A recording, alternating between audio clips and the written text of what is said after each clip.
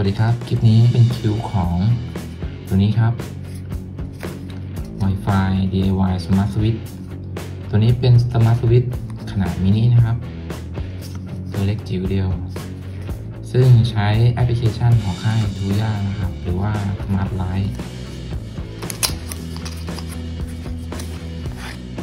ขนาดก็จะพอๆกับตัว Sonos Mini นะครับนี้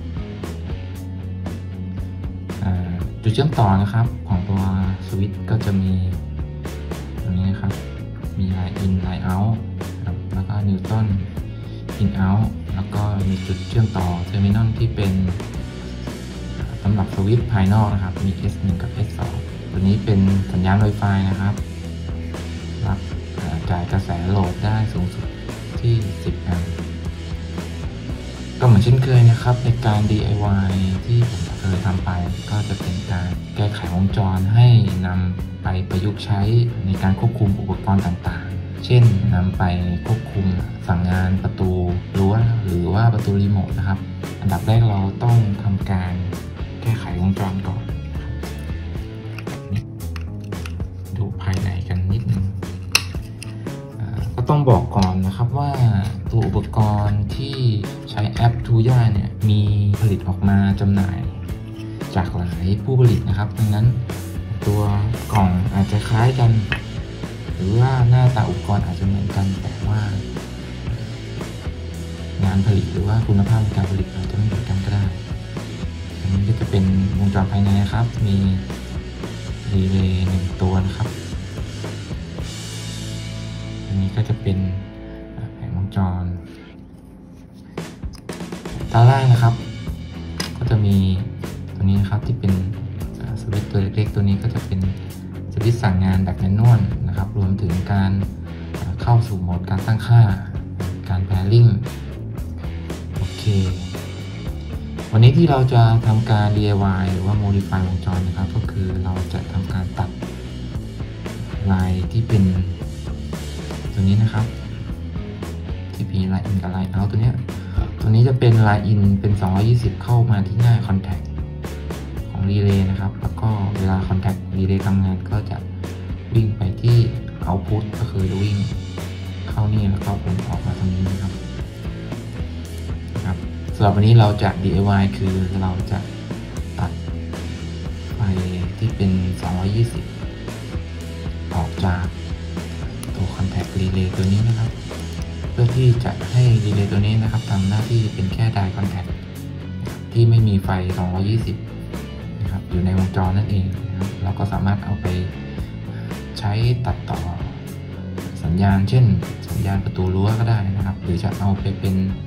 ทำหน้าที่แทนเป็นเซอร์วิสไฟเวลาเราสั่งเปิดปิดไฟก็ได้นะครับ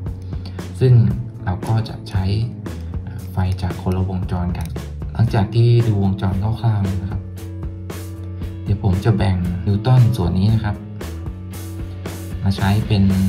line in แทน เป็น neutral ตรงนี้คือมันมีมาให้2 terminal ต่อถึงกันเดี๋ยวผมจะตัดตรงนี้นะครับ เพื่อที่จะใช้ terminal หนึ่งจุดตรงนี้นะครับ ที่เป็น neutral เดิมจะใช้เป็น line in ส่วน line in กับ line out เดิม ก็เดี๋ยวจะให้เป็นเป็น dry contact ไปเลย คือจะให้มีไฟเข้านะในส่วนนี้นะครับ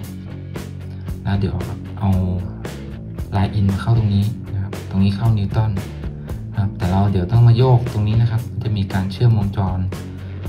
line in ที่ของเดิมนะครับ ที่เข้ารีเลย์นะครับ ก็จะมีการโยง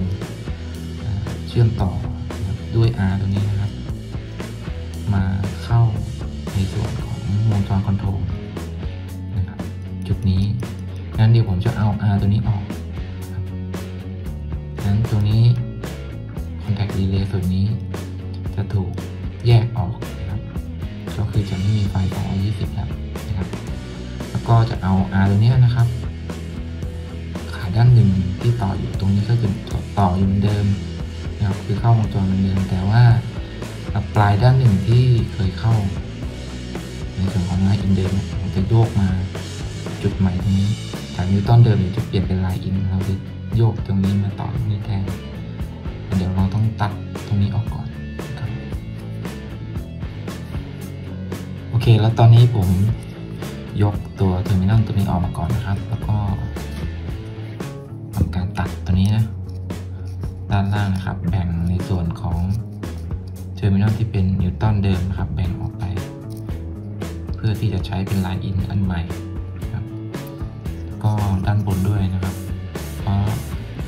ตัวแผ่นปิ้นนะครับลายปิ้นมีสองด้านครับตัดต้องตัดทั้งสองด้าน แล้วก็มีการยกตัวนี้ครับ เป็น R ที่เชื่อมวงจร จาก line in เดิมนะครับ ที่โยงมาเข้าตัวไดโอดตัวนี้ครับ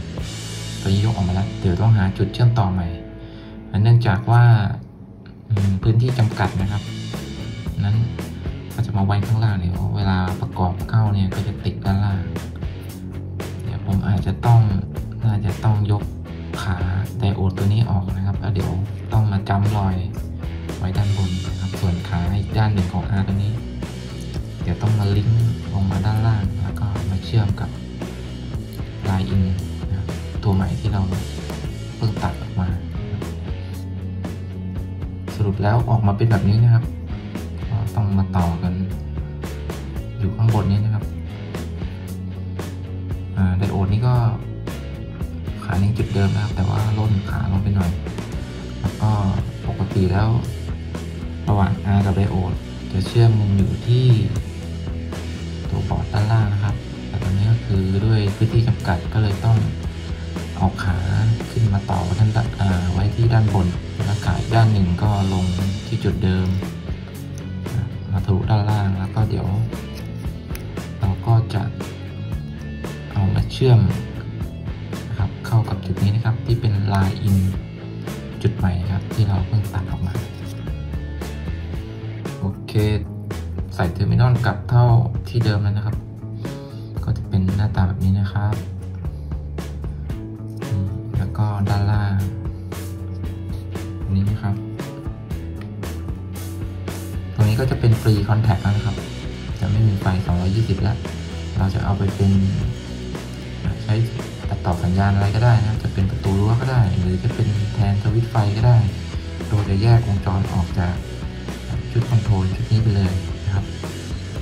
ตรงนี้ก็จะเป็นไลน์อินตัวใหม่นะครับไลน์อินเข้ามาตรงนี้ เข้ามาตรงนี้ครับนี้ปักกี้เรียบร้อยก็วิ่งเข้ามานี่แล้วก็ผ่าน R แล้วก็มา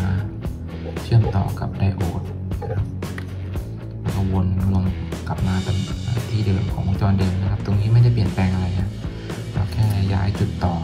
ต่อด้านบนเฉยนะครับระหว่างอุปกรณ์สองตัวโอเคอันนี้ก็คือเป็นวิธีการแก้ไขวงจรนะครับ หลังจากที่เราแก้ไขวงจรแล้วแล้วก็ตอนนี้ผมประกอบเข้าสู่เคสของเดิม เรียบร้อยแล้ว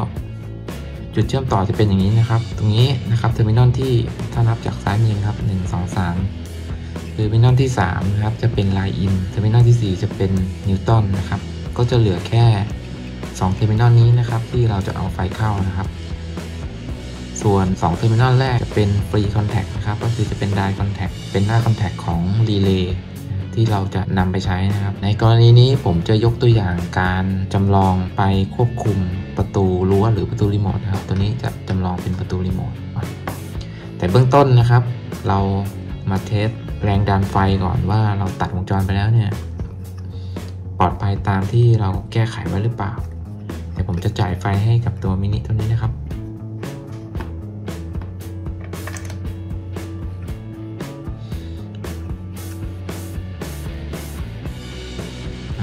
ถ้าเพื่อนๆสังเกตก็จะเห็นมีไฟเข้านะครับเดี๋ยวผมจะวัดไฟ ไฟ line in นะครับ ผมวัดลายกับ neutral เนาะไฟเข้า 220 โวลต์นะครับ ดังนั้น2 terminal ด้านข้าง 1 2 นี่ก็ต้องไม่มีไฟนะครับ ต้องไม่มีไฟ เราวัดเทียบกับ line in โอเค ตัวนี้วงจรตัดจากกันเรียบร้อยนะครับ โอเค ในส่วนของวงจรเสร็จแล้ว ต่อไปเราไปเพิ่มอุปกรณ์ในแอปพลิเคชัน Tuya Smart ก่อนนะครับ อนอนนี้เราจ่ายไฟให้อุปกรณ์เรียบร้อยแล้ว ตอนนี้ไฟติดนิ่งอยู่ครับเดี๋ยวผมจะลองกดเพิ่มอุปกรณ์ ตัวนี้น่าจะเป็นเบเกอร์ Wi-Fi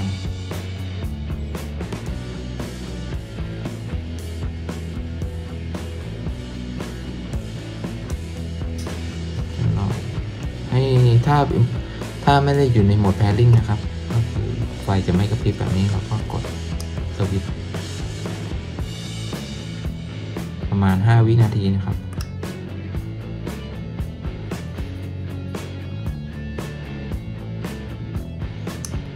ยังไม่เข้าเดี๋ยวผมลอง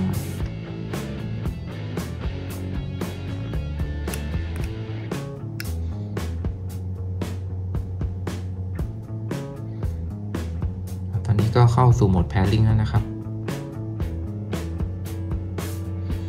ติดนิ่งตัวนี้น่าจะเจอแล้ว เดี๋ยวรอแอปพลิเคชันสักครู่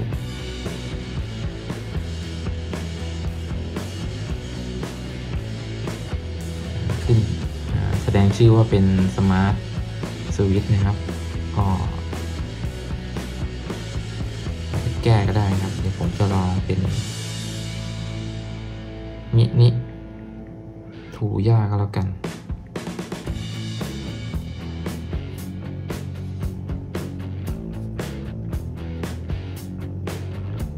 เคเสร็จแล้ว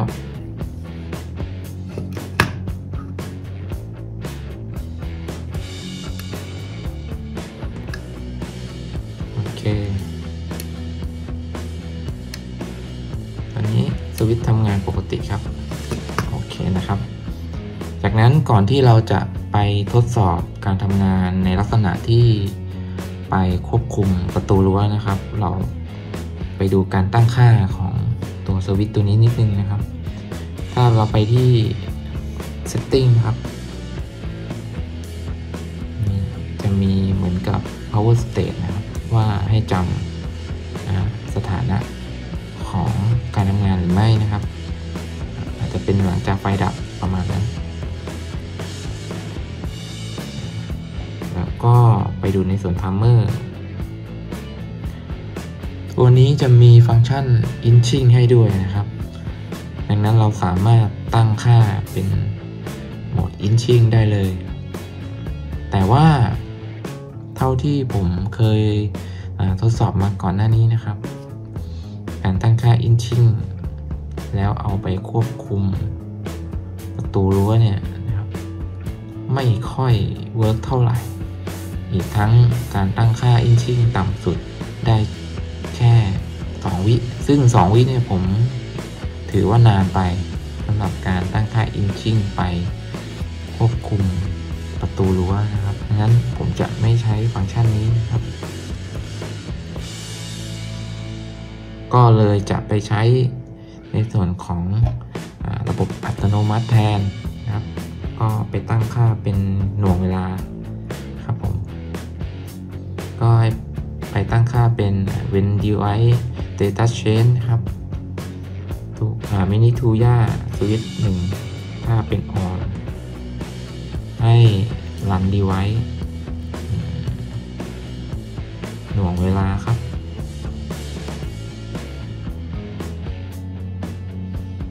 ผมตั้ง 1 วิพอว่าต่ำสุดได้เท่านี้ เสร็จแล้วก็ หลังจาก 1 วิแล้ว ให้สั่งมินิทูย่าตัวนี้เป็นออฟ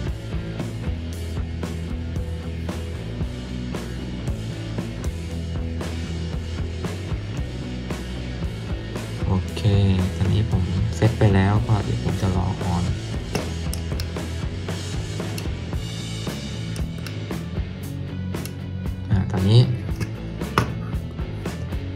ค่าเสร็จเรียบร้อยครับ ก็คือเวลาเราสั่งออนจะทำงานแค่ 1 วินาทีนะครับ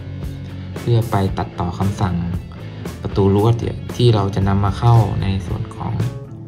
Input นะครับทั้ง2 Terminal 1 2 ตัวนี้นะครับ โอเค ตัวนี้ในส่วนของแอปพลิเคชันตั้งค่าเรียบร้อยแล้ว เดี๋ยวเราจะมาเอาสัญญาณสวิตตัวนี้ เป็นโซนอฟมินินะครับ ตั้งค่าจำลองเป็นคอนโทรลของประตูนะครับ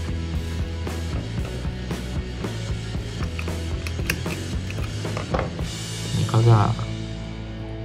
เอาสัญญาณมาเข้าที่หน้าคอนแทค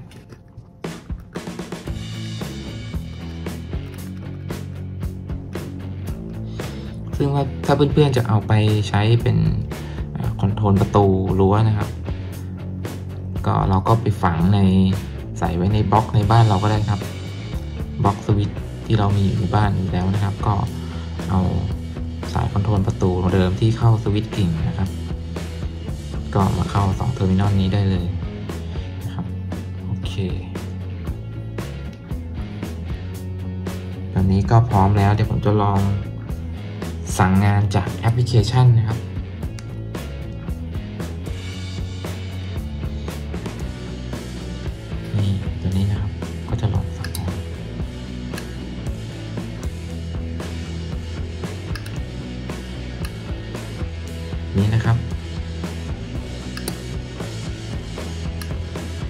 วิครับสมมติว่าตอนนี้ประตูรั้วนะครับ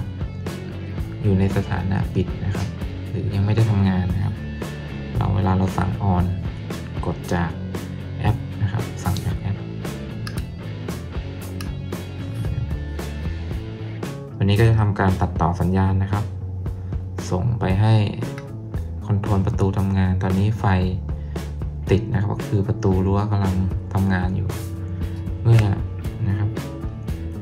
หมุนไปที่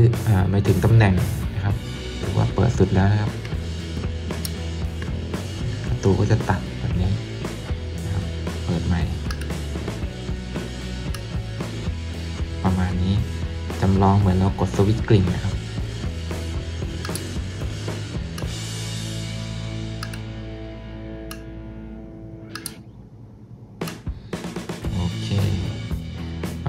การตั้งค่าก็จะเป็นประมาณนี้นะครับ อีกจุดหนึ่งนะครับที่จะลืมพูดถึงไม่ได้นะครับ ถือว่าเป็นข้อควรระวังหรือว่าข้อสังเกตกันแล้วกันนะครับสมาร์ทสวิตตัวนี้นะครับเขาก็จะมีจุดเชื่อมต่อสำหรับสวิตภายนอกนะครับหรือ external switch เนี่ยอยู่ที่ S1 และ S2 ซึ่งเราสามารถรเอาสวิต กริ่งเดิมมาต่อเข้าก็ได้นะครับ ในกรณีที่เราไม่ได้ผ่านสั่งผ่านแอปนะครับ เราก็สามารถต่อหน้าสวิตช์เดิมเนี่ยนะเข้ากับ 2 จุดนี้ได้ แต่ว่า จากการที่ผมทดสอบสักระยะหนึ่งนะครับ การออกแบบวงจรของมินิทูย่าตัวนี้ทำงานไม่ค่อยเสถียรครับในกรณีที่บางทีหน้าคอนแทคของ สวิตตัวนี้อาจจะเก่าหรือไม่ดีนะครับ หรืออาจจะเกิดจากการกดแบบกดรัวๆหรือว่าอาจจะเกิดจากการเด็กมากดเล่นอะไรประมาณนี้นะครับ จะกลายเป็นว่าจะเข้าสู่โหมด pairing นะครับนะครับ การใช้งานคำสั่งจากสวิตจุดนี้นะครับ จะเข้าสู่โหมด pairing ดังนั้นก็จะเป็นปัญหาที่ว่าเพื่อนๆบางท่านเอาอาซื้อไปใช้แล้วเนี่ยเกิดปัญหา ตัวสวิตช์ไม่ทำงานหรือเข้าสู่โหมด pairing เองบ่อย ประมาณนี้นะครับก็อาจจะเกิดจากสวิตช์ภายนอกชุดนี้นะครับทำงานไม่ค่อยเสถียรดังนั้นถ้าเพื่อนๆอยากจะใช้สวิตช์กริ่งเดิมต่อเข้ากับสวิตช์ที่เราโมแล้วจริง ๆนะครับ ผมแนะนำให้ต่อเข้าที่ terminal สัญญาณตัวนี้ไปเลยนะครับ ก็คือขนานสวิตช์เข้าไปเลยนะครับ อ่าโอเค เดี๋ยวผมจะลองต่อให้เพื่อนๆดูนะครับ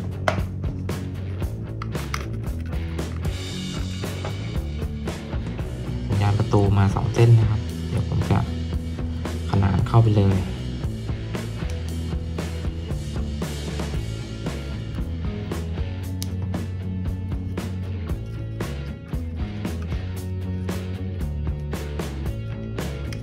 ตรงนี้ทั้งนี้ทั้งนั้นก็อาจจะอยู่ที่ ขึ้นอยู่กับยี่ห้อที่เราซื้อมาก็ได้นะครับ เพราะว่าอุปกรณ์ทูย่าเนี่ยมีหลายโรงงานผลิตมากนะครับ หน้าตาเหมือนกันแต่วงจรภายในอาจจะไม่เหมือนกันก็ได้นะครับนั้นความเสถียรเนี่ยอาจจะต่างกันก็ได้ อันนี้ผมแจ้งไว้สำหรับผู้เพื่อนที่ซื้อ แบบเดียวกันกับผมมานะครับ ก็จะเป็นอาจจะเจอปัญหาแบบนี้นะครับโอเคตอนนี้ผมจ่ายไฟเข้า วงจรเหมือนเดิมแล้วนะครับผมจะรอให้พร้อมทำงานก่อน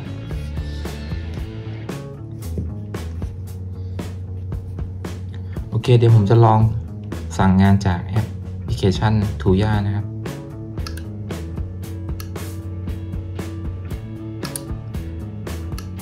โอเค จะลองสั่งจากสวิตบ้างครับ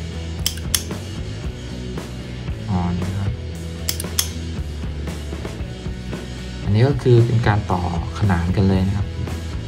ถ้าเรากดจากสวิตช์เนี่ยนะครับ เราก็แทบไม่ได้เกี่ยวข้องกับตัวมินิตัวนี้เลยนะครับ เพียงแค่ว่าเรามาจำสัญญาณพ่วงถึงกันเฉยนะครับ ก็ไม่ต้องไปพะวงกับ